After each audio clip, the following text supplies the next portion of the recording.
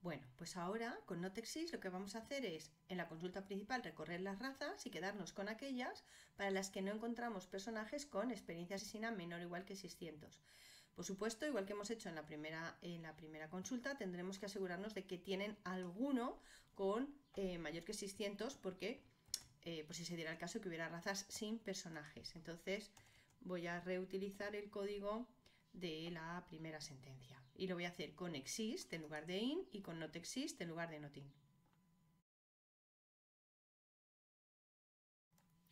Aquí es donde vamos a hacer la referencia externa en el where.